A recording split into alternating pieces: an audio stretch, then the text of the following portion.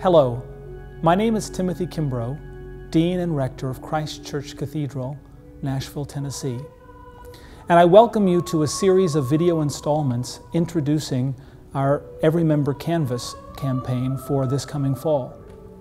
We've chosen as a grounding principle for this year's campaign a sentence from the Eucharistic liturgy, the liturgy we say every Sunday.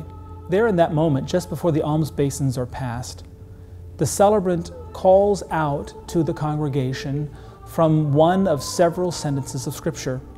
Some are more obviously connected with the call to give, but this one, walk in love as Christ loved us, which comes from the book of Ephesians, chapter 5, verse 2, is more, well, subtle and at the same time subversive in its call to Christian giving.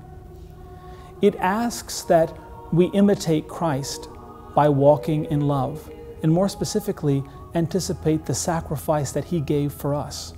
There's no way in hearing this sentence said that we can give simply to keep the lights on or give simply to, to raise a budget. We recognize when we hear this walk in love as Christ loved us that we are to give because God has given us all that we have, all that we are. We love because He loved us first.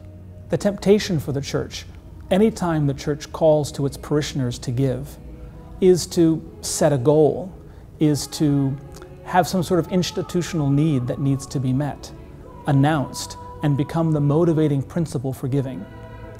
But here in this campaign, we, we seek to have as the motivating principle our love for God.